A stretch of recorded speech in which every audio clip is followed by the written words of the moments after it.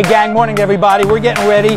We're going to hit the half a million dollar mark this weekend for the Kelly Anne Dolan Fund. You ready? We're shooting three throws. Here we go. Oh.